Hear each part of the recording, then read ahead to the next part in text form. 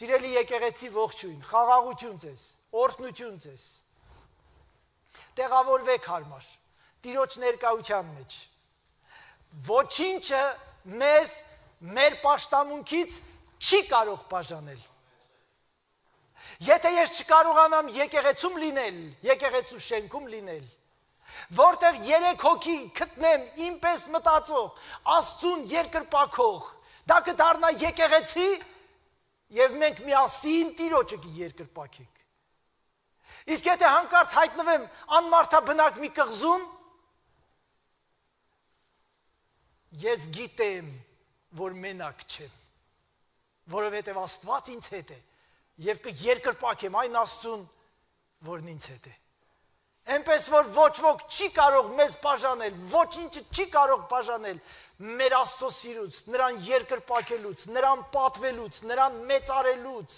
նրան հարգելուց, նրան հաճեցնելուց եւ նրա առաջ երկյուղացությամբ, պատկառանքով ապրելուց։ Եղեք օրհնված։ Եղեք ինձ հետ։ Շնորհակալություն Աստծուն այս հնարավորության համար, որ ունենք ամեն մեկս միտեղ լինելով հանդերձ միասին լսենք խոսքը, ուղակի մի բանում ես ափսոսում եմ։ Շատերը իրանց տեղերից ինձ տեսնում են, ես էլ կուզենայի մի հրաշք լիներ, բոլորին տեսնեի։ Այդ հնարավորությունը տեխնիկապես կա, բայց դա ապահովելը կարծում եմ այսօր դեռ շատ հնարավոր չի մեզ համար։ Այո, տեխնիկապես այդպիսի հնարավորություն կա, որ հազար տեղից ես էկրան լինի եւ բոլորիդ տեսնեմ։ Բայց տա Աստված, որ ես ամենը շուտ վերջանա եւ ես ձեզ տեսնեմ ոչ թե էկրանից, այլ հենց այստեղ, այս դատարկ աթորները լծված լինեն, եղեք օրտնված։ Դուք գիտեք, որ մինչև հիմնական падգամին անցնելը ես ճանապարհ եմ պատրաստում։ Ամեն տաճար իր ճանապարհն ունի։ Առանց ճանապարհի տաճար չես կարող հասնել։ Եվ ամեն падգամ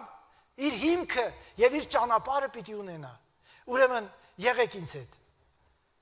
Անցած անցած շաբաթների ընթացքում հենց անմիջապես անցնող շաբաթվա ընթացքում ես ունեի մտահոգություններ, աղոթում էի եւ այդ աղոթքի մտահոգությունների մեջ գիտեք երբ որ դու Տիրոջ հետ ես, երբ որ դու քո բոլոր արցունքներն ու ուրախությունները, ծիծաղն ու լացը Տիրոջ առաջ ես բերում, Տիրոջ հոգին այնպիսի հրաշալի մխիթարող հատկություն ունի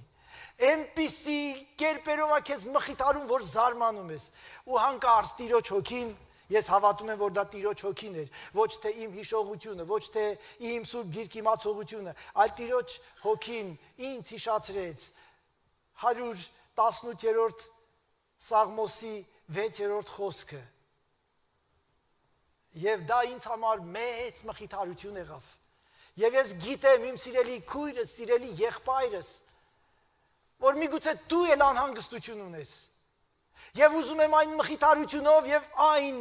այցելությունով, որ Տերն այցելեց ինձ իր խոսքով, թող սրանք քեզ էլ այցելեն։ Տերն ինձ հետ է ես չեմ վախենա։ Մարդն ինձ ինչ կանի։ Ես մտածում էի տարբեր իրավիճակների մասին, որ եթե սա այսպես լինի, նա այնպես կլինի։ Եթե սա այսպես չլինի, նա այնպես չի լինի։ Եվ Տերը իր խոսքն ուղարկեց, որ իմ սիրտը բժշկի ու ասի. Եթե ես քեզ հետ եմ, մարդը քեզ ինչ կարող է անել։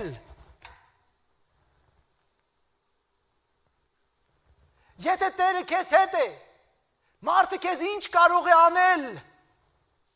Թող մարդիկ իրենց դավերը դավադրությունները սարքեն եւ Աստված քեզ հետ է ու կփշրի։ Թող մարդիկ իրենց չարություններն անեն, բայց քո Աստվածը նրանց նետերը կկոտրի եւ նրանց փորած փոսի մեջ իրենք կհայտնվեն։ Օրհնյալ լինի քո Տեր Աստվածը Ես չգիտեմ մեզանից ով ինչ դժվարությամբ մեջ է կամ ինչպիսի խնդիրների է հանդիպում։ Եվ նաև այս մասին է խոսում 56-րդ Սաղմոսի 3-րդ 4-րդ խոսքերում։ Ինչ որ որ վախենամ, քեզ կհուսամ։ Աստծուն եմ հուսացել, չեմ վախենա։ Ինձ ինչ կանի մարմինը։ Մարդն ինձ ինչ կանի։ Սա իմիջայլոց։ Սա այն մխիթարությունը, որով Աստված ինձ մխիթարեց, ես փոխանցեցի, որ դուք էլ մխիթարվեք, որովհետև Պողոս Արաքյալը Կորինթացիների մեջ պատմում է, որ մեզ հետ շատ բաներ են պատահում, Աստված մեզ մխիթարում է ամեն մխիթարությունով, որ մենք էլ մխիթարված Աստծո մխիթարությունով կարողանանք ուրիշներին մխիթարել, երբ որ իրենք մխիթարության կարիք ունեն։ Չէ՞ որ եկեղեցին նաև այսպիսի նպատակ ունի, որ իրար կողք լինենք, իրար մխիթարենք, իրար զորացնենք, իրար քաջացնենք։ Եղեք օրտնված, եղեք քաջալերված, Տերը ցես մենակ չի թողի, անկախ նրանից շա ես գիտեմ, շատերն են եւ նամակներ գրում եւ ոմանք, որոնք ավելի համարձակ են, զանգում են, ասում են, չենք դիվանում, կարոտել ենք եկեղեցուն։ Իմացեք, եկեղեցին էլ ձեզ է շատ կարոտել։ Բայց հավատում ենք, որ ամեն ինչ ունի սկիզբ եւ ունի վերջ։ Եղեք մխիթարված ձեր տեղում, Դուք մոռացված չեք, դուք լքված չեք։ Աստված ձեզ հիշում է, ձեր տեղը գիտի, ձեր տեղից որ կանչում եք Աստուննա, լսում է ձեզ։ Էնպես որ շարունակեք Տիրոջ հետ վարվել, ինչպես Ենոքն էր վարվում։ Գրված է որ Ենոքը քայլեց Աստծո հետ, այնքան մինչև մի օր էլ չէր երևում, որովհետև Աստված նրան վերցրեց։ Քայլեք Աստծո հետ։ Որտեղ կլինեք, քայլեք Աստծո հետ Մենակությունը թուլանալու պատճառ չի։ Դու մենակ ես, եթե Աստված քեզ հետ չի։ Սա է մենակությունը։ Եթե ամբողջ աշխարհը քեզ հետ է, իսկ Աստված քեզ հետ չի, դու իմացի կատարյալ մենության մեջ ես։ Իսկ եթե ամբողջ աշխարհը քեզ հետ չի, եւ Աստված է քեզ հետ, ուրեմն դու մենակ չես երբեք։ Կարող ես իսկապես քո տան մեջ Ձերքը տնես քո վրա, եթե քո ընտանիքի հետ եք, իրար ձերք բռնեք ու ասեք, Տերը մեզ հետ է։ Ասեք Տերն այստեղ է։ Ինչպես Հակոբը մի օր ասավ, Տերն այստեղ էր եւ ես չգիտեի։ Եթե չգիտես, ուրեմն իմացի։ Սա Տիրոջ հայտնությունն է, որ Տերը այդտեղ է, որտեղ դու ես։ Ամեն։ Ու ամեն։ Այսօր մի քիչ խորը պետքա գնանք։ Խորը բաները Մարսելը շատ հանգիստ չի, կոշտ կերակուրը երբեմն առողջ ստամոքս է ուզում, առողջ հոգևոր ստամոքս, որ կարողանա մարսի։ Բայց չէ որ մենք արդեն շատ շատերս վաղուց մեր հոգևոր մանկության շրջանն անցել ենք։ Ժամանակն է կոշտ կերակուրների։ Եվ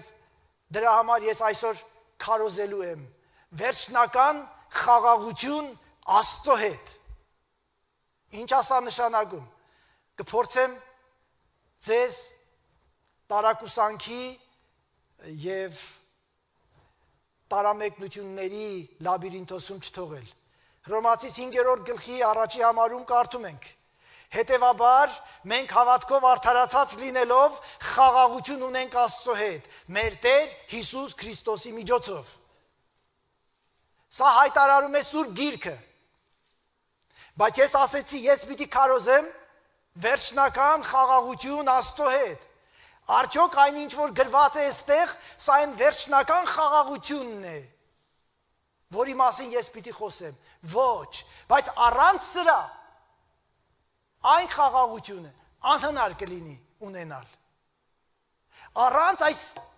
խաղաղության, որ մենք արդարանալով Հիսուս Քրիստոսի միջոցով հաշտվում ենք Աստծո հետ եւ խաղաղություն ենք գտնում Աստծո հետ։ Ընդհանրապես իմ սիրելի քույրեր, սիրելի եղբայրներ, պիտի փաստեր կան որ պիտի ուղակի արձանագրենք, հասկանում ենք, թե չենք հասկանում, դժվար անկալելը, թե դժվար չի անկալելը, ուղակի դրանք պիտի որպես ի գիտություն ընդունենք, դրանք պիտի արձանագրենք, որ կա օրինակ կյանքը արդարացի չի, Ուզում ես թե չէ։ Կյանքն արդարացի չի։ Եթե վատ տուն ունես, ինչու դու ունես վատ տուն եւ նա ունի այդպիսի պալատներ։ Ինչու բոլորս հավասար չենք երկրի վրա ծնվում։ Ինչու բոլոր մարդիկ ծնվելուց ամեն մեկի հաշվին, չգիտեմ, 1 միլիոն կամ չգիտեմ 100 միլիոն բանկում դրված չի լինում։ Ինչու։ Բայց չէ որ ոմանց հաշվին դրված է լինում։ Ինչու մեկը ծնվում է արատով, մյուսը ծնվում է առողջ։ Ինչու։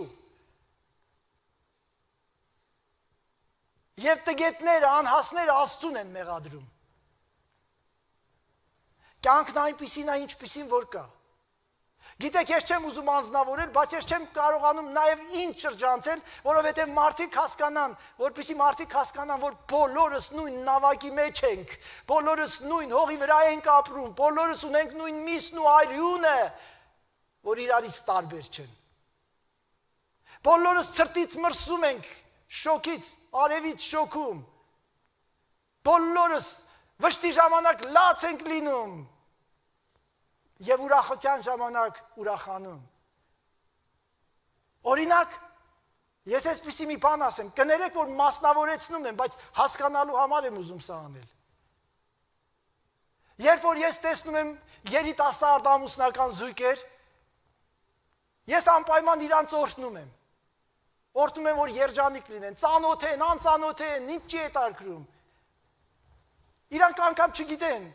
որ ես իրանց օրհնում եմ։ Պատոհանից աշխատասենյակի կլինի թե փողոցում։ Բայց երբ որ ես տեսնում եմ ծերացած վաղուց իրենց երիտասարդության շրջանից անցած ամուսիններ սպիտակ մազերով երբեմն ձեռնափայտով երբեմն իրարից կրծնած վաղուց երիտասարդական գեղեցկությունը ու հմայքը կորցրած կանայք եւ տղամարդիկ իրար հետ գնում են իմ սիրտը տակնու վրա է լինում ես չկարողացա այդ վայելքն էլ ապրել Ինչու։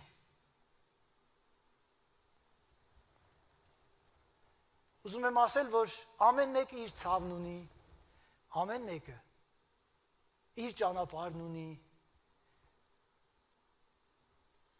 եւ ոչինչ չես կարող փոխել։ Օրտնյալ լինի նա, որ հենց այդ ճանապարհն է քեզ տվել։ Շատ հաճախ չես հասկանում, որովհետեւ նաեւ գրված է. Գախնի բաներն Աստծուն են վերաբերվում, հայտնի բաները մարդկանց։ Ես շատ բաներ կա, որ չեմ հասկանում, կուզենայի իմաստուն լինելու հասկանայի։ Բայց այն բաները, որ ես չեմ հասկանում, գիտեմ, որ Աստված հասկանում է։ Եվ ընդհանրապես չեմ կարծում, որ կա մեկ այս երկրի վրա, որ ամեն բան հասկանում է ամենաիմաստուն մարդը գրել է Սողոմոնին նկատի ունեմ, որ Աստվածաշունչը պնդում է, որ նա մարդկանցից ամենաիմաստունն է եղել, նրանից առաջ այդպիսի իմաստուն մեկը չի եղել եւ նրանից հետո այդպիսի մեկը չի լինելու։ Եվ սա գրում է Ժողովողի 9:11-ում. Դարձյալ տեսա արեգակի տակին։ Մրցավազքը արագավազինը չէ։ Ոչ էլ մարդ մարդը քաջերինը կամ հաղթանակը, ոչ էլ հացը իմաստուններինը,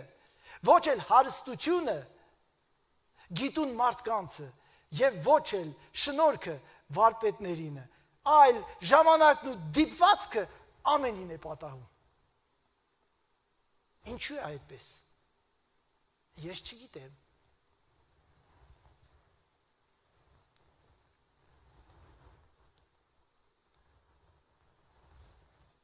Ես արդեն ասեցի, որ կյանքն արդարացի չի։ Մարդը ծնվում է մեղավոր բնությամբ։ Աստծո ճշնամի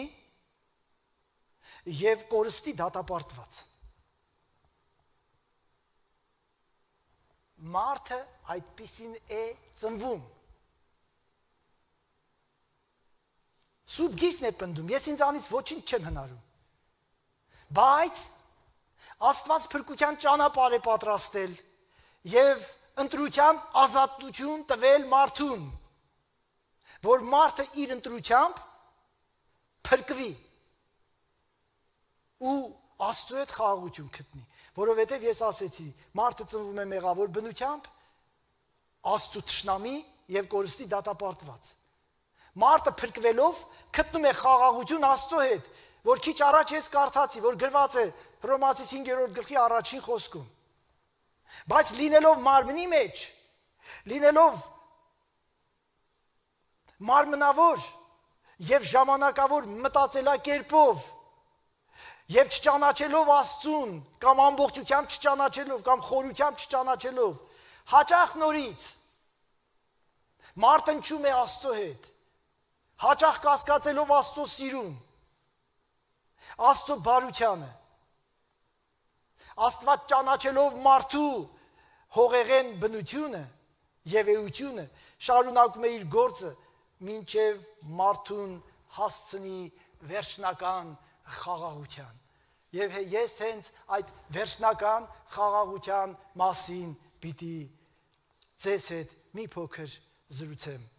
Վերջնական խաղաղություն Աստծո հետ։ Ինչպես է մեղավոր մարդը հաշտվում, խաղաղություն գտնում Սուրբ Աստծո հետ։ Ես արդեն ասեցի։ Բայց լսեք։ Գախնիկ չի, որ չփրկված, վերստին չծնված մարդը բնությամբ Աստծո թշնամին է։ Բոլորը Այո, բոլորը անխտիր։ Նորություն չի, որ դժվարության ժամանակ, աղետի ժամանակ, ողբերգության, ցավի, կորուստի ժամանակ մարդիկ հենց առաջինը Աստծուն են մեղադրում։ Իսկ հաջողության, առողջության, հարստության ժամանակ բոլորը չեն, որ ասում են։ Ես արժանի չէի սրան։ Աստված ուղակի տվեց։ Բայց երբ որ ցավ է լինում, բա ես սրան էի արժանի։ Օրինակ, ինչու ինձ հետ սա պատահեց։ Բա ուր է Աստծո արդարությունը։ Եվ այսպես շարունակ։ Ուր էր Աստված հարցը։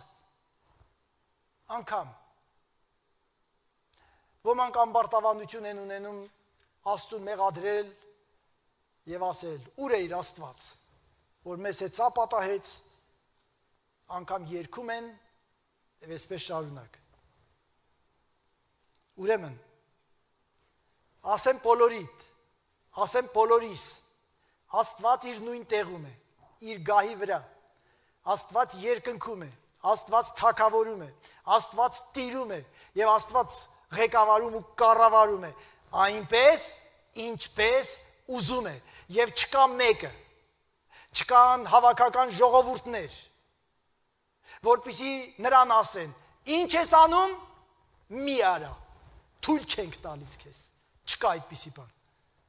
Աստված տիրում է։ Տիրում է, տիրել է եւ տիրելու է Հավիտյան, որովհետեւ ամեն բան ինքն է արել իր ձեռքերով, ամեն բան ինքն է ստեղծել իր խոսքով եւ ամեն բան կա ու կմնա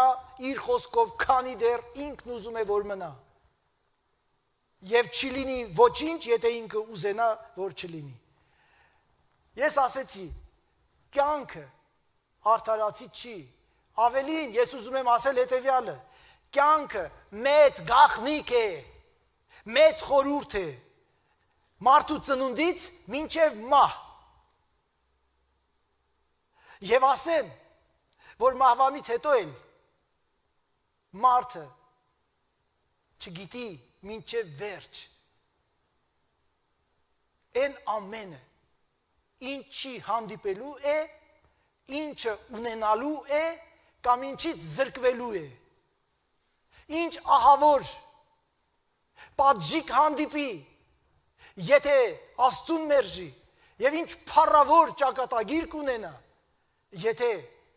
Աստծուն հնազանդ կյանք ապրի։ Համենայն դեպս Սուրբ Գիրքն ասում է. այնինչ աչք չի տեսել, այնինչ մարդու ականջ չի լսել եւ մարդու սիրտ սրտի մեջ չի ընկել, այդպիսի փառավոր բան է Աստված պատրաստել իր սիրողների համար։ Բայց թե ինչ մարդը չի կարող հասկանալ, չի կարող պատկերացնել, որովհետև մենք գիտենք աթորն էսպիսինը։ Բայց ով կարող է ասել, թե երկնքում աթորներն ինչպիսին են։ Մենք գիտենք, որ տունը, շենքը կամ պալատը այսպիսին է կամ այնպիսին։ Մեզանից շատերս լավագույն պալատներում եղել ենք։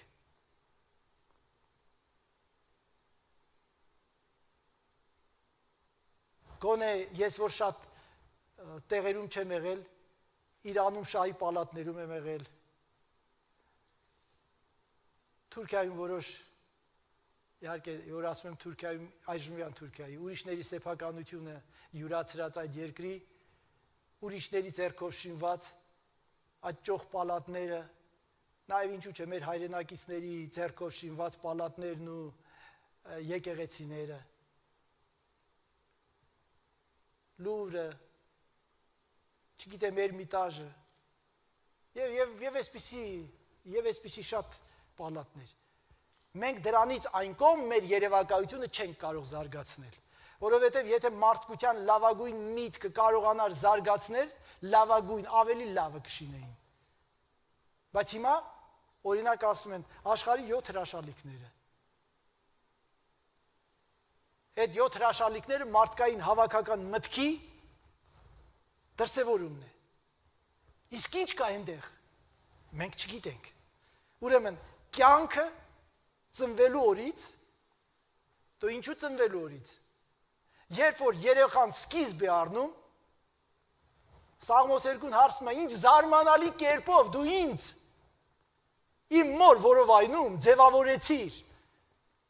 ինչ հրաշալի կերպով դու իմ ոսկորները պատրաստեցիր ամրացրեցիր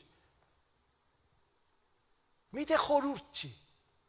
Միթե մեծ գախնիկ չի։ Պարզամիտները չեն կարող հասկանալ։ Շատ պարզամիտները եւ աստուն մերժողները որոշ տեսակի շնչավոր կենթանիներից սովորություններից շատ տարբեր սովորություններ չունեն։ Առավոտյան պետքա ուտեն, երեկոյան էլ պետքա ուտեն, պետք է աշխատեն, շատ համով բան ուտեն, շատ ուտեն եւ ելի ուտեն։ Բայց ինչու։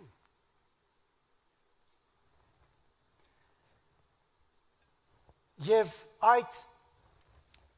խորհրդավոր գախնի կյանքի հենց սրտում կան մեզ համար դժվար մարսելի հակասություններ թվացող բաներ որ մենք դժվարանում ենք հասկանալ։ Եվ շատ հաճախ, շատ տարիներ հետո ենք հասկանում, որ այն ինչի համար մենք պայքարում էինք, այն ինչ շատ էինք ուզում ունենալ, շատ բաներ, որ ուզում էինք հասնել, հաճախ շատ տարիներ հետո պարզվում է, որ մեզ այն շատ քիչ էր անհրաժեշտ Գիտեք ինչու, որովհետև Սուրբ Գիրքը Գաղատացիս 5:17-ում ասում է, սովորեցնում է, մարմինը հոգուն է հակառակ եւ հոգին մարմնուն է մարմնին է հակառակ եւ սրանք իրար հակառակ են։ Իսկ Հռոմացիս թղթում Պողոս Արաքյալն ասում է, մարմնավոր մարդիկ Աստծո միտքը չունեն, Աստծո գործերը չեն հասկանում, Աստուն չեն կարող հաճեցնել, դա անհնար է մարմնավոր մարդու համար մարմնավոր մարդու համար այն ինչ որ Աստված նախատեսել է իր զավակների համար, որ ինչպիսի կյանք ապրեն եւ ինչպիսի վերջնագծի հասնեն, դա խելամիտ չի, տրամաբանական չի, մարդկային բարեկեցության ու հաջողության տեսանկյունից։ Եվ շատ տարիներ հետո է parzվում շատերի համար այն ինչից մարդը վախեցել է ամեն ինչից շատ եւ խուսափել, որ դա իր հետ չպատահի, parzվում է, որ այն մարդուն մեծագույն օրհնություն է։ Եվ սա մարդուն հակասություն է թվում։ Անտրամաբանական, անհասկանալի երջանիկ կյանք Քրիստոսի հետ փնտրողների ճանապարհին այդ փնտրողները շատ հակասությունների են հանդիպում։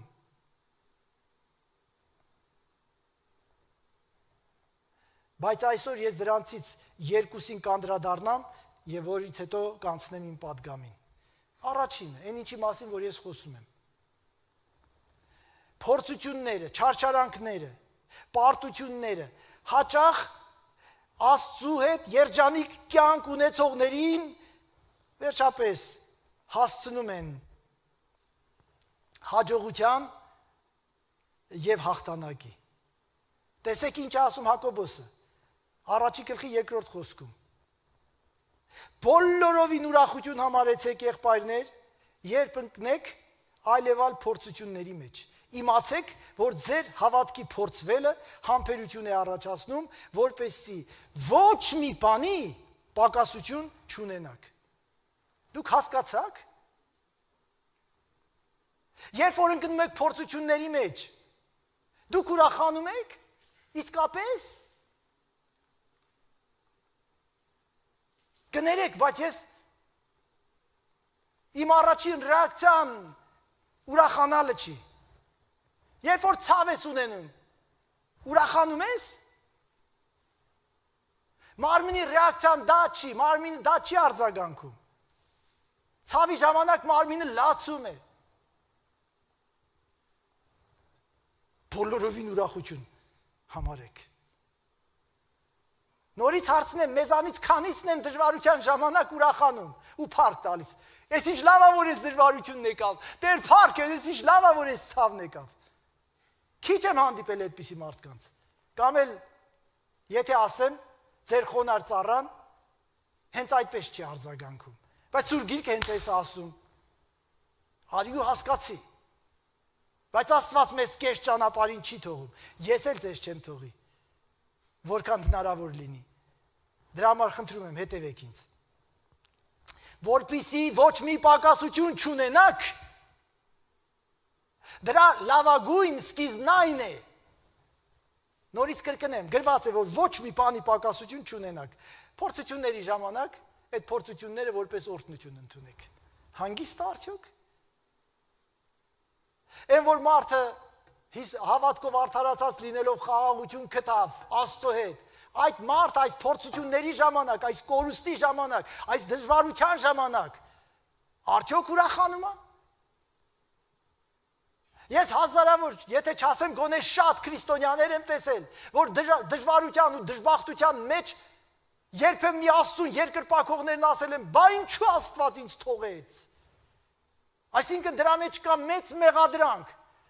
Բայց Աստծո հավատարմությունը, խի սենց հավատարիմ Աստված, ա լինում, դուք էլ քարոզում եք Աստված հավատարիմը։ Որպիսի ոչ մի բանի պակասություն չունենաք։ Նորից կրկնեմ, իմ սիրելի քույրեր եղբայրներ, Սիրելի բարեկամներ, դուք որ ընտանիքներով լսում եք, եթե նրանք կան մարդիկ, որոնք անգամ հավատքին շատ մոտիկ չեն։ Շատ բաներ կա, որ մենք դժվար հասկանանք մինչև մեր կյանքի վերջի օրը։ Այնուհետև, հա, այս պարագայում մարդիկ ասում են, ասում բոլորովին ուրախություն համարեցեք եղբայրներ, երբ որ ընտնեք այլ եւ այլ փորձությունների մեջ, իմացեք, որ ձեր հավատքի փորձությունը, փորձվելը համբերություն է առաջացնում։ Յա, բայց գիտեի համբերություն պետքա խնդրեմ, Աստված մի տոպրակ համբերություն տա։ Համբերությունը ուրիշ կերպ չի գալիս քան փորձությունների մեջ։ Ես էությամբ շտապող մարդ եմ։ Ամեն ինչն անում եմ արագ, որքան կարողանամ։ Ես որ աշխատում եմ, ինձ ինձ սպանում եմ ուղակի։ Ֆիզիկական, որ ես աշխատում եմ, այսպեսին է իմ էությունը։ Ես սեղանի շուրջ հասնուտում եմ 5 րոպեում։ Մարդիկ կան 1 ժամ վայելում են։ Ես չգիտեմ դա ինչ է։ Էությամբ ես անհամբեր եմ։ Բայց ասեմ ձեզ, մինչև հիմա, մինչև այսօր, Աստված ինձ համբերություն է պարտադրում։ Ես երբեմն խնդրում եմ, Տեր, ուզում եմ համբերություն ունենալ։ Եվ Տերը չի ուշացնում։ Եվ Տիրոջ կերպն էլ չի փոխվում։ Այդ համբերությունը ձեռք ես բերում տարապանքի մեջ։ Ինչ որ մեկը կասի Ռուբիկ եղբայր, եթե քո մոտը տենց է, մենք հանգիստ ապրում ենք, թող խաղաղ ապրենք։ Բարեկամ, եթե դու Աստծո հետևից ես քայլում, եթե դու ուզում ես Աստծո օրենքով ապրես, եթե անգամ հաշտվել ես Աստծո հետ, վերջնական խաղաղություն դու կգտնես Աստծո հետ մեծ պատերազմից հետո, որի մասին ես այսօր խոսելու եմ։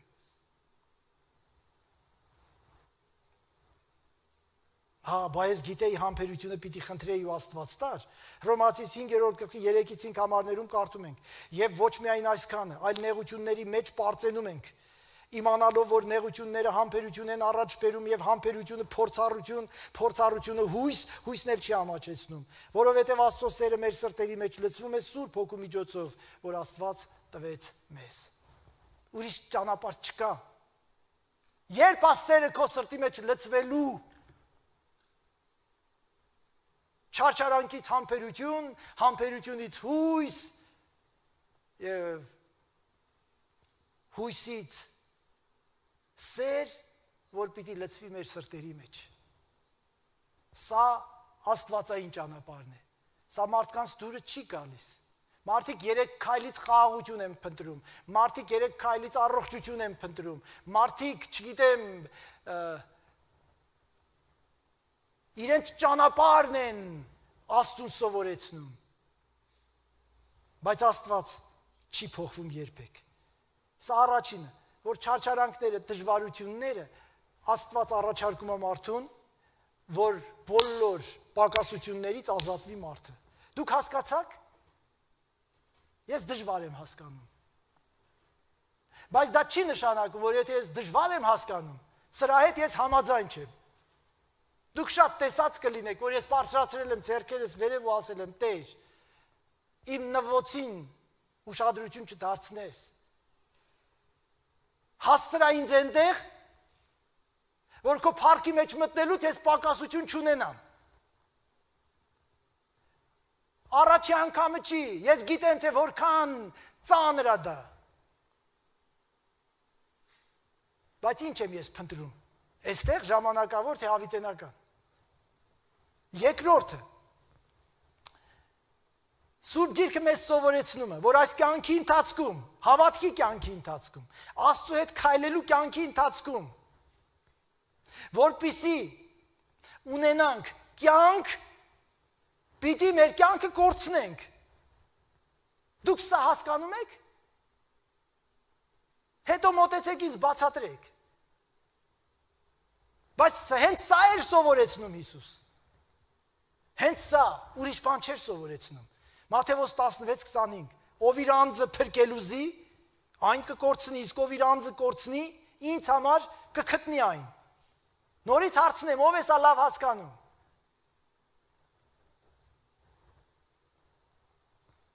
Գլուխ կոտրուկ է Աստված մեզ առաջարկում, թե հակասություն։ Ոչ մեկը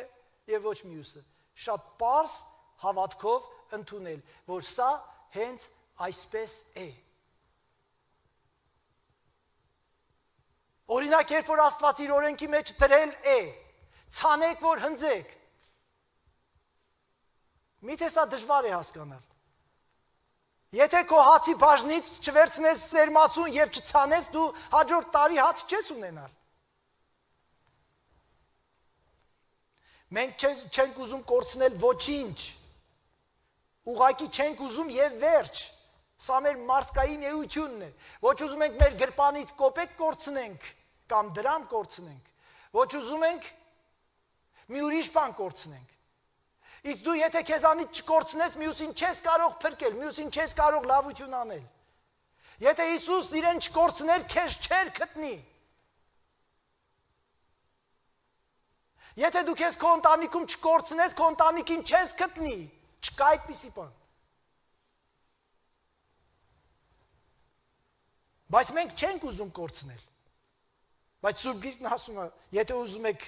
գտնեք, պիտի կորցնեք։ Նորից հարցնեմ. ով է լավ հասկանում։ Ես լավ չեմ հասկանում։ Երկու հատված կկարդամ առանց մեկնաբանելու եւ կանցնեմ падգամին։ Առաջի հատվածը Ռոմացի 8-րդ գլխից 18-24 համարներն եմ կարդում։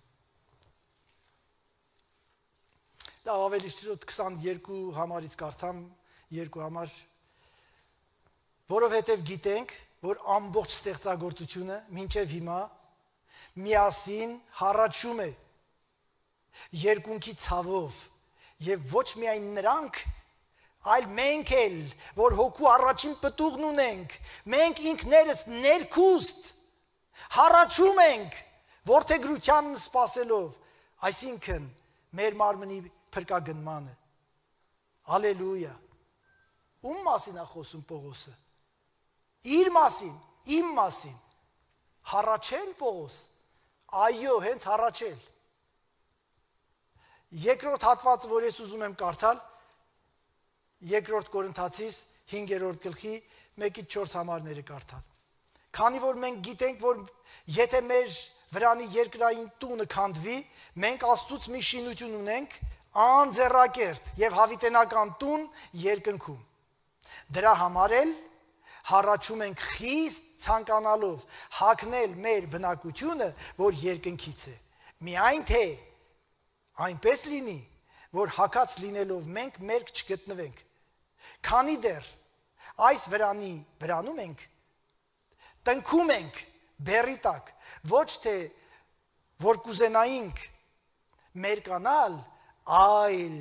վրայից հակնել, որպեսի մահկանացուն կուլ գնա կյանքին, արդ կամ ընկղմվի կյանքի մեջ։ Արդ աստված է, որ հենց սրա համար պատրաստում է մեզ։ Եվ մեզ հոգու գրավն է տվել։ Ես ժամանակ չունեմ, սրանք շատ տարողունակ են, ամեն մեկը մի քանի падգամի, ուղղակի ես կարդացի, սրանք ասում են այն մասին, որ Աստված մեզ այդպես է պատրաստում, հենց այդպես է պատրաստում, հառաչելով է պատրաստում, տնքալով է պատրաստում։ Ինչու է այսպես։ Որովհետև Աստված լավ ճանաչում է մարդուն։ Ես շատ քիչ բարեհաջող կյանքով, ընտանիքում մեծացած, բարեհաջող, հարստություն ունեցող, բարեհաջող կյանքով ապրող շատ քիչ մարդիկ եմ հանդիպել, որոնք փրկության ու երկնքի մասին են մտածել։ Աստված մեր հավիտենական փրկությունն ապահովելու համար ժամանակավոր վարքյանական նեղությունները այդ հատվածում հենց այդ մասին էլ ասում էր այսպես եմ դատում, որ մեր ժամանակավոր թեթև նեղությունները արժան չբաղդատելու այն հավիտենական փառքի հետ, որ մեզանում պիտի հայտնվի։ Աստված ժամանակավոր ակնթարթային դժվարությունները մեզ թույլ է տալիս, որ հավիտենական փառք մտնենք։ Մտնենք պատրաստված, մտնենք ոչ մի բանի կարիք չունեցած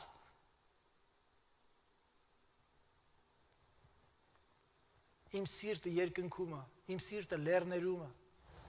Եվ այնտեղ հասնելու համար ոչ մի ձոր ինձ խոչընդոտ չի կարող լինել։ Ես կանցնեմ ամեն մի ձորով։ Ես կանցնեմ ամեն մի արտասունքի հովիտով։ Եթե ձորը մահվան ձոր լինի, ես կանցնեմ, բայց իմ նպատակն այնտեղ հասնելն է։ Եվ Աստված ուժ է տալիս Աստված ճանապարհ է պատրաստում այդպիսի մարդկանց համար, որոնք հասնեն իրենց փառքին։ Ինչ օգուտ մարդուս, եթե ամբողջ աշխարհը վաստակի եւ իր հոգին կորցնի։ Եվ ընդհանրապես շարունակում էր Հիսուսն ու ասում էր. Ընդհանրապես մարդն իր հոգու փրկության համար, որպես փրկագին, ինչ կարող է տալ։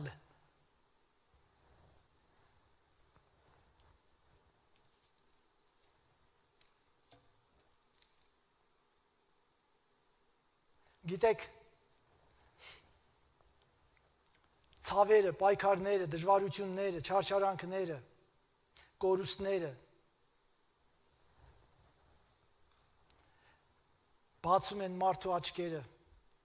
այնպես ինչպես ոչինչը եւ երբեք մենք այդ ժամանակ ենք բաց աչքերով նայում իրականությունը, հասկանում իրականությունը, հասկանում Աստվածային դասավորվածությունը եւ նաեւ հասկանում ենք, որ Աստվածային դասավորվածությունը անփոփոխելի է։ Դժվարությունները, մեր ճանապարհների,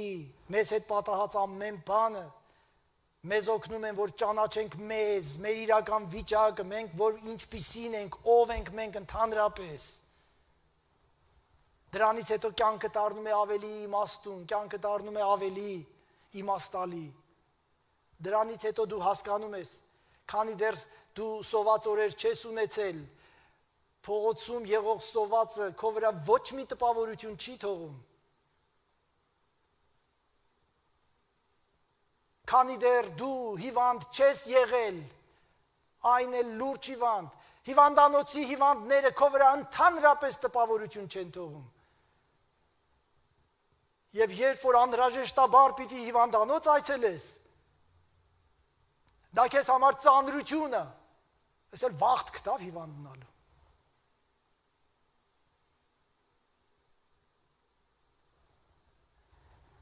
Եթե նեղության մեջ չես եղել եւ քո նեղության մեջ մեկը քեզ ծածուկ կամ հայտնի գրպանդ մի բան չի դրել դու երբեք չես հասկանա որ նրա կողքով անտարբեր պիտի չանցնես նրա գրպանում բան պիտի դնես դրա համար եմ ասում դրանից հետո է մարդու կյանքը դառնում իմաստալի ասում են կուշտը սովածին չի հասկանում քանի դեռ դու սոված չես մնացել Դու սովածին չես կարող հասկանալ։ Բայց եթե սոված օրեր ես ունեցել, իսկապես չես կարող անտարբեր անցնել սովածի կողքով։ Մենք հասկանում ենք իրար ինչի մասին ենք խոսում։ Թե ինչ որ մեկը կասի Ռուբիկ եղբայր, երևում է 7 երկ գիտես 7-ն էլ ինչ որ բանի մասին է։ Ոչ միայն 7 երկ գիտեմ, ես 70 երկ գիտեմ, 7 միլիոն երկ գիտեմ, եւ այդ 7 միլիոն երգը ես գիտեմ թե ում մասին է։ եւ ուրիշ երկ ես չեմ կարող երկել։ Այո, վերջնական պատերազմ եւ խաղաղություն Աստծո հետ։ Հիմա հասա падգամին։ Ուշադիր լսենք։ Աստվածաշնչի մեջ շատ պատմություններ կան այն մասին,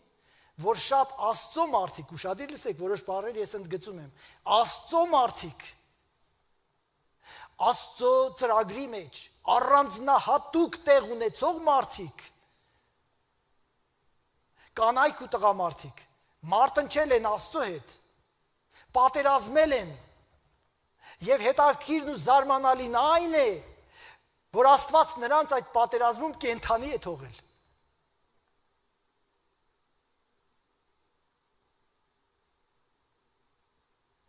Դուք ինձ լավ ճանաչում եք, որ ես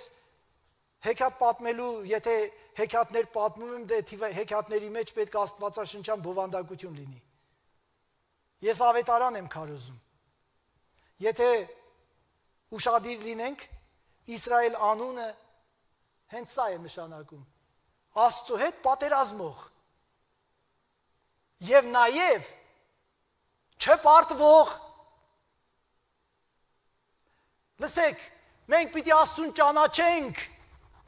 լավ ճանաչենք, որ իմանանք Աստված բարի է ամեն ժամանակ։ Ամեն ժամանակ։ Ինչ է նշանակում ամեն ժամանակ։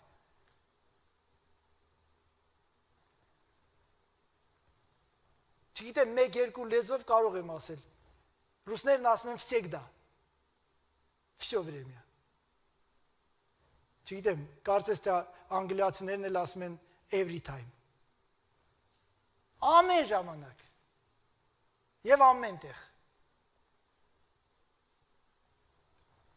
Դրա համար Աստծուն պիտի ճանաչենք։ Գիտեք, որ Աստված մարդ չի։ Մարդը Աստծո հավասարը չի։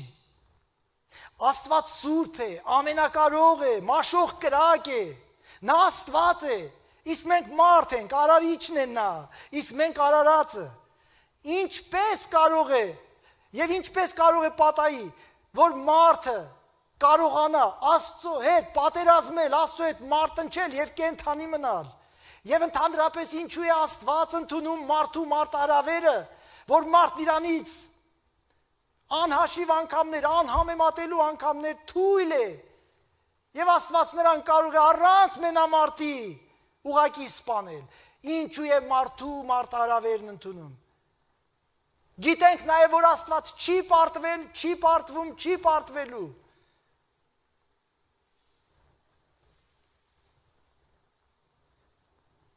Գիտենք որ այդ պայքարում, այդ մենամարտում, այդ պատերազմում մարդը պիտի պարտվի անպայման։ Բայց այդ դեպքում եկեք հասկանանք, որն է այդ պատերազմի նպատակը։ Այդ մենամարտի այդ պատերազմի նպատակը մշտական պատերազմը չի,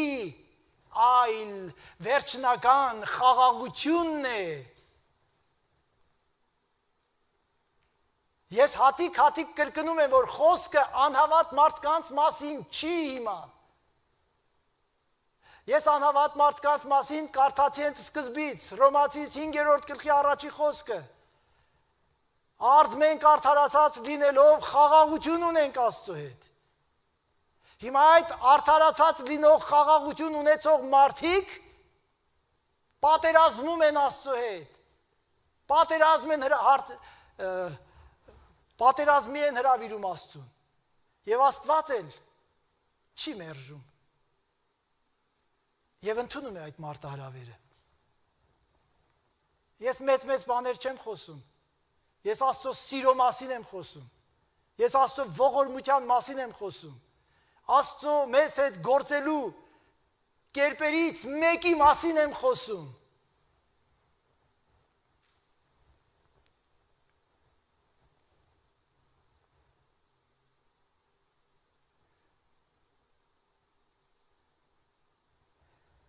Այսօր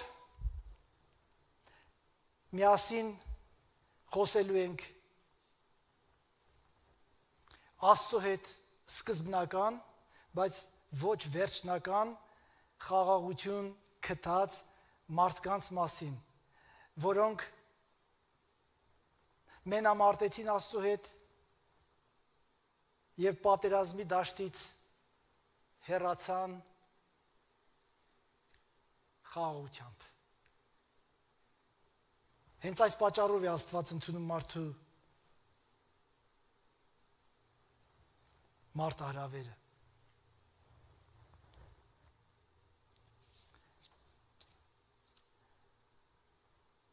Երկու մարդու մասին պետքա խոսեմ, բայց ուզում եմ նաև տեղեկացնեմ, որ շարքը կշարունակվի միգուցե երկրորդ, երրորդ падգամով այս շարքից որովհետև շատ են այն մարդիկ որոնք աստուն մարտարավեր են ուղղել Ուրեմն վերջնական խաղաղություն Աստծո հետ։ Ոչ ոք մարդկության պատմության մեջ այդպես կտրուկ եւ տրամադրված եւ աշխուժ երկխոսության մեջ չի մտել Աստծո հետ, ինչպես հոբը։ Եթե եղել է մի մարդ, որ մարդ Աստուն մարտարավեր է ուղել ուղակի, Աստուն ձեռնոց է նետել, դա եղել է հենց հոբը։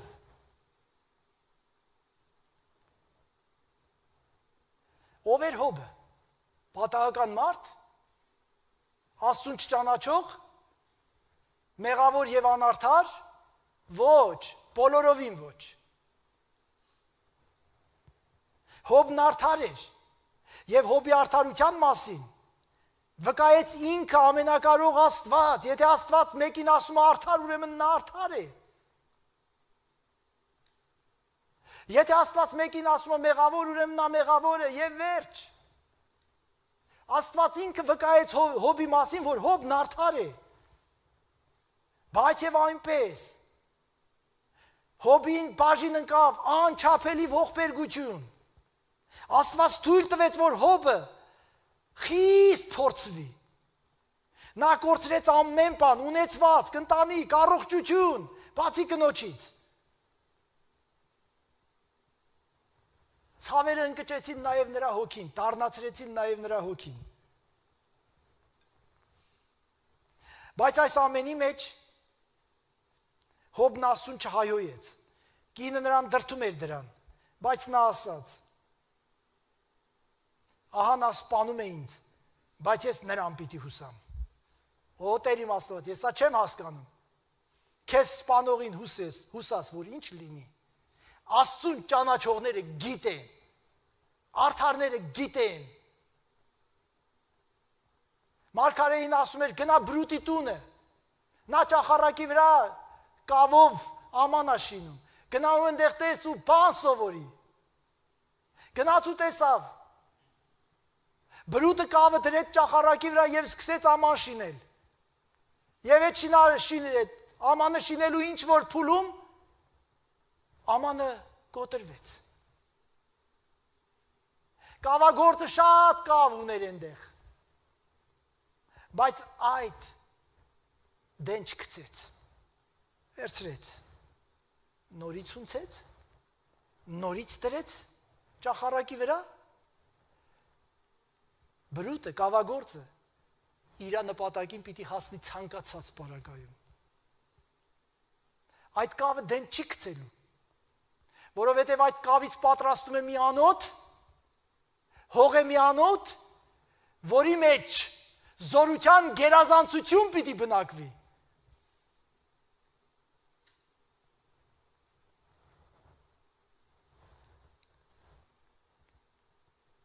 ահա նա ինձ սպանում է։ Բայց ես նրան պիտի հուսամ։ Հոբ 13-15 Նա իր ընկերներից լսում էր անմիտ խորհուրդներ, խրատներ եւ դատողություններ, բայց դրանց հետ չէր համարձակվում եւ չէր լռում։ Նա մի հարց ուներ։ Եվ այդ հարցը ուղղված չէր որևէ մարդու, որովհետև ինքը գիտեր, որևէ մարդ չի կարող իր հարցերին պատասխանել։ Եվ նա ասում էր. Երանի հնարավոր լիներ հասնել նրա գահը եւ իմ հարցերը նրան տայի եւ նրա պատասխանը լսեի, տեսնեմ ինչ պիտի ասի։ Ինչպես արդարին ինչու հանդիպեց սա։ Սա կռիվ չէր։ Հետո էլ ասում են Աստված սենց։ Բայց գողություն Աստծո։ Այդ ամբողջ պատերազմի ընթացքում հոբը իրեն ասպետի պես պահեց։ Ես ուզում եմ մեկ երկու տեղ ամենայն դեպս կարդալ։ 23-րդ գլուխ հոբի գիրք 3-ից 5 համարը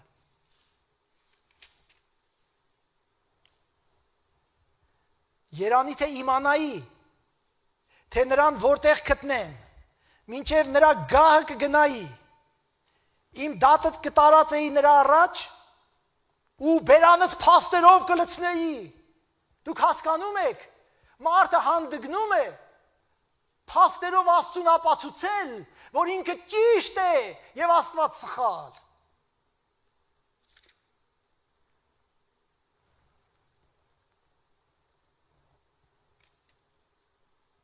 կիմանայի իր պատասխանի խոսքերը, կհասկանայի ինչ որ ինձ ասեր։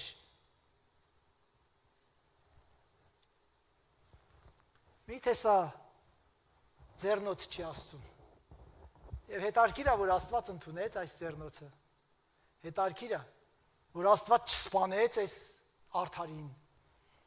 Այլ Աստված շարունակեց նրա հետ իր սկսած աշխատանքը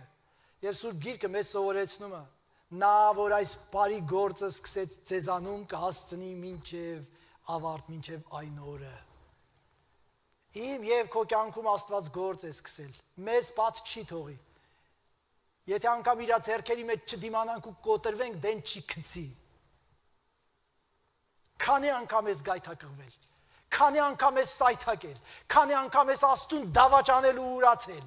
անաստվածի նման բայց նա հավատարիմ է քեզ դեն չի գցելու քեզ մարդ է դարձնելու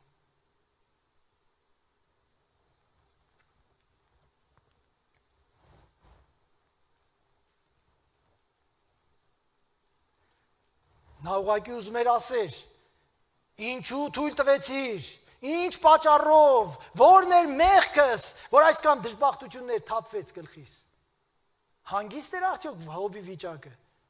Օ անգամ պատկերացնելն է ծանր։ Վերջապես հասավ Աստծո գահին եւ որտեղ հայտնվում է Աստված, այնտեղ Աստծո գահն է։ Եվ ուզում եմ իմանալ, որ Աստծո գահը ամեն տեղ է։ Եվ շատ հեռու գնալ պետք չի, որ հասնեք Աստծո գահին։ Մտեք ձեր ներքին սենյակը եւ Աստծո գահն է։ Եվ ես ուզում եմ մի փոքր կարդամ Հոբի գրքի 38-րդ գլխից 38-րդ գլուխ 1-ից 11 համարը այն ժամանակ Տերը փոթորիկի միջից հոբին պատասխան տալով ասաց ով է դա որ անգետ խոսքերով մթագնում է խորհուրդը հիմա տղամարդու պես գոտե պնդվիր քեզ հարցնեմ ու դու պատասխանիր ինձ ուր էիր դու երբ ես երկրի հիմերն էի դնում։ Ասա ինձ, եթե իմաստություն ունես։ Գիտես թե ով է սահմանել նրա ճափերը, կամ թե գիտես նրա վրա ով քաշեց լարը։ Ինչի վրա է հաստատված նրա հիմքերը, կամ թե ով է դրել նրա անկյունակարը։ Երբ առավոտվա աստղերը միատեղ երկեցին ու Աստծո բոլոր ворթիները ցնծությամբ աղաղակեցին, նաև ծովի արգանդիցը դուրս նետվելու պես հորդացած ժամանակ ով սահմանափակեց այն դռներով երբ ամպը նրա համար որպես հանդերձ դրեցի իսկ մեկը որպես խանձարուր եւ նրա վրա իմ հրամանները հաստատելով նրա նիգեր եւ դռներ դրեցի ու ասացի եկ մինչև այստեղ ել չանցնես թող քո ալիքները հպարտությունն այստեղ դաթարի ալիքների հպարտությունն այստեղ դաթարի կանգ առնենք այստեղ հոբը հարցեր էր պատրաստել միգուցե գրել էր միգուցե հերթականությամբ այս հարցից հետո այս պիտի տամ ինչպես փաստաբաններն են անում Այս հարցից հետո այս հարցը պիտի տամ, հետո նրան պիտի մցնեմ փակուղի ու նրան ասեմ, որ դու արդար չես, արդարին եթե ցավ ես պատճառում։ Աստված նրան ուղակի ասավ. Մինչև որ դու պատրաստես քո հարցերը, ես ուզում եմ քեզ մի քանի հարց տամ որ դու հասկանաս դու կարաս հարց տաս թե ոչ քո խելքը կհասնի հարց տալու համար թե ոչ կամ այն ինչ որ ես ասում եմ եթե դու չես հասկանում դու ոնց կարող ես ինձ հարց տալ եւ ինձ փակուղի մտցնել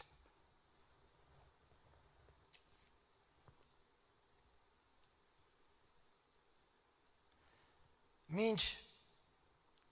Հոբը պատրաստում էր իր հարցերը, Աստված հարցերի մի մեծ ծաղկեփունջ առաջարկեց հոբին։ Ասա, գիտես սրա մասին։ Ասա, իսկ սրա մասին գիտես։ Ուր էիր դու այն ժամանակ։ Հիմա որ կաս կարող էիր հաստատ պիտի լինեիր, թե կարող էիր նաև չլինել։ Կարծես Աստված նրան ասում էր. Դու ուզում ես ինձ հարցակնես։ Դու ուզում ես ինձ սխալի մեջ մեղադրես, իմ արդարադատությունն ու արդարությունը կասկածի տակ դնես, բայց նախ լսիր իմ հարցերը։ Եվ դրանք շատ դժվար ու ծանր քննություն էին հոբի համար։ Վերջապես հոբը այս հարցերը լսելուց հետո հասկացավ ամեն բան։ Հասկացավ, որ ինքը տանուլա տվել էս պատերազմը։ Հասկացավ, որ Աստված այնքան բարի է, որ իրան չի սպանում իր այս անմտության եւ անիմաստ հարցերի պատճառով եւ հոբը խոստովանեց որ այս քննությանը պատրաստ չէր ուղակի կտրվեց ուղակի տանուլ տվեց 40-րդ գլուխ 3-ից 5 համարը այն ժամանակ հոբը տիրոջը պատասխանեց ասելով. Ահա ես նվաստեմ քեզ ինչ պատասխան տամ ձերքս տնում եմ բերանիս վրա մեկ անգամ խոսեցի այլևս պատասխան չեմ տա։ Այո, երկու անգամ, բայց այլևս չեմ շարունակվի, չեմ շարունակի։ Վերջ։ Սա հոբի կապիտուլացիան էր։ Եվ Աստված ընդունում է այդպիսի կապիտուլացիա առանց ռազմավար պահանջելու։ Ռազմավարը գիտեք։ Պատերազմող կողմը նրանում պատերազմը հայտնել, հա, հայտարարել, պարտվելուց հետո պատերազմի ամբողջ ծախսը քաշում է։ Սա պետք էր հոբին, որ վերջնական խաղաղություն գտնի Աստծո հետ։ Սա պետք էր Աստծուն, որ հոբին հասկացներ Աստծո հետ կոնֆլիկտ ունենալը, Աստծո հետ անխաղաղություն ունենալը խիստ վտանգավոր է։ Գիտեք, ես ինչու սկզբից իմ մասին ասեցի։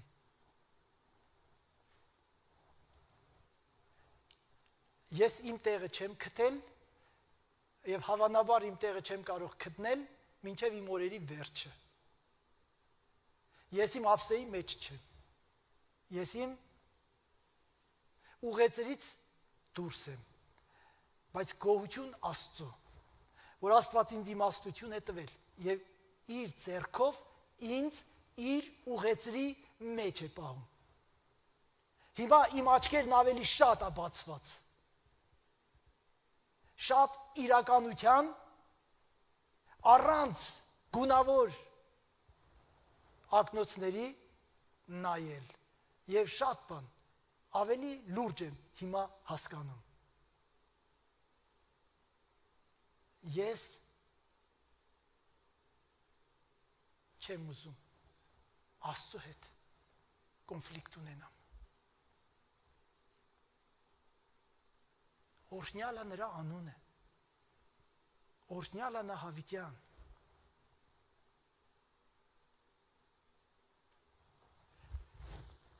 Իմ ժամանակն ավարտվեց բայց ես չհասցրեցի այսօր նախատեսված երկրորդ պերսոնին անդրադառնամ, որը նույնպես Աստծո հետ պատերազմեց։ Եվ եւ այսպիսի անհատներ կան։ Ես ասում եմ 2-3 աշտամունք միգուցե ես սրան անդրադառնամ եւ ես խնդրում եմ մի ձանձրացեք։ Ես հաճախ լավագույն հատվածներ իմ падգամների հաջորդ չկրկնվելու համար հաջորդ անգամ չեմ շարունակում մնացածը հաճախ երբեմն լավագույն մասն է մնացած լինում։ Բայց ես ուզում եմ, որ հաջորդ անգամ ուրիշ թեմայի մասին խոսեմ, այդպես էլ թեման մինչև վերջ չհասցնելով։ Մեզ բոլորիս վերջնական խաղաղություն է պետք Աստծո հետ։ Մենք որ արդարանալով խաղաղություն կտանք Աստծո հետ, առանց այդ սկզբնական խաղաղության վերջնական խաղաղություն չենք կարող ունենալ միանշանակ բայց եթե քթել ենք այդ արդարությունը եւ այդ արդարությունով հասել ենք Աստծո հետ խաղաղության դա դեռ չի նշանակում որ մենք Աստծո հետ դադարել ենք պատերազմել դա չի նշանակում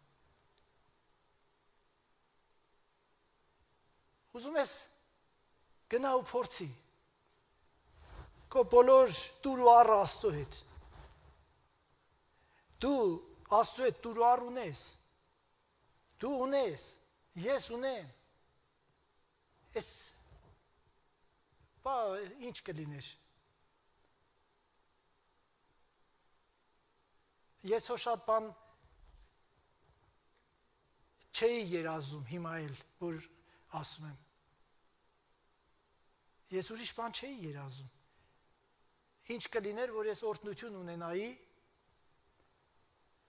իմ ծերացած միգուցե կերացած միգուցե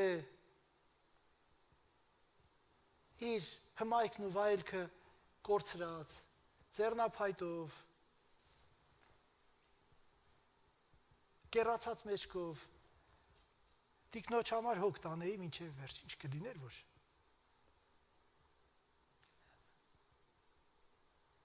Օրհնյալ լինի Տիրոջ անունը։ Բայց ես հույս ունեմ։ Հույս ունեմ, որ ժամանակավոր թեթև նեղությունները գալիք փառքի համեմատության հետ բաղդատելու չի։ Օրհնյալ լինի Աստված։ Ես այստեղ կանգ առնեմ։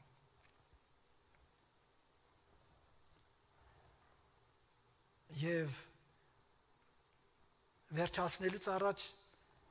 ուզում եմ 40-րդ գլխի 8 համարը կարդալ։ Տեսեք Տերն ինչ էր ասում նրան։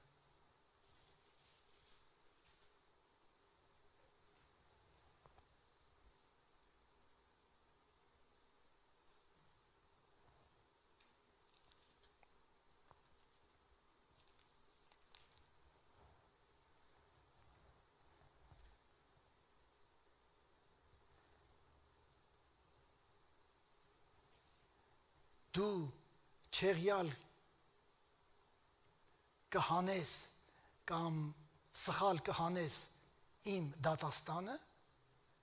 ինձ կմեղադրես որպեսի քեզ արդարացնես սա աստված էր ասում հոբին ասում է դու հասկանում ես ինչ ես անում դու ինձ սխալ ես անում որ քեզ արդարացնես բարեկամներ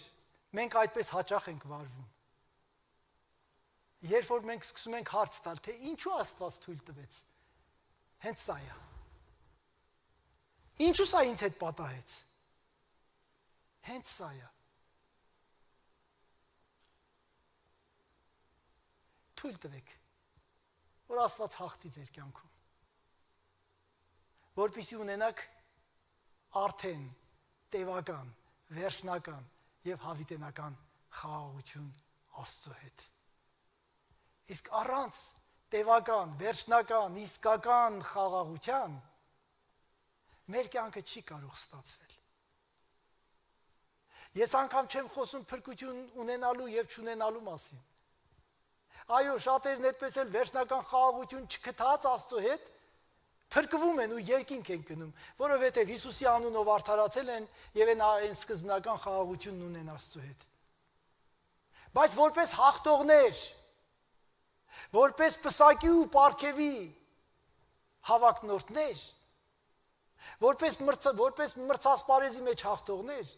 նրանք երբեք հաղթողների շարքում չեն կարող լինել։ Փրկված լինելով հանդերձ։ Եվ Սուրբ Գիրքը Սուրբ գրքի վարդապետությունը սրան դեմ չի,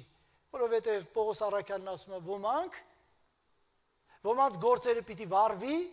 ոմանց հակուսները պիտի վարվի եւ նրանք տկլոր պիտի մտնեն։ Ասում է կրակից անցած, այնքան նուրբ է գրած։ Եթե քո վրայի շորը կրակով անցնի, քո հակուստը Ինչ կլինի։ Այն, ինչով մորից ծնվել ես։ Օրհնյալ լինի Աստված։ Ես ուզում եմ, որ մենք բոլորս խաղաղություն գտնենք Աստծո հետ։ Ժողովուրդ, մի տրտնջացեք ձեր վիճակի համար։ Ես գիտեմ այս օրերին դուք պակասություն հնարավոր է որ ունենաք։ Ես գիտեմ շատերդ աշխատում եք Հիմա ձեր կամ աշխատավարձը չկա կամ աշխատավարձի մի մասը կա, կամ նպաստեիք ստանում մի բան ավելացավ, ավելի դժվարացավ, հոգսերը շատացավ, մի տրտնջացեք։ Հաց ու հանդերձ ունեք գոհացեք Աստծուց։ Խաղաղվեք Աստծո առաջ։ Աստծուն մի մեղադրեք։ Աստծուն սխալ մի հանեք, որ դուք արդար երևաք։ Թե ձեզ կորցնողը, թե ձեզ փրկողը, թե ձեզ արդարացնողը, եւ թե ձեզ մեղավոր ձեր մեղքերի մեջ թողողը Աստված է։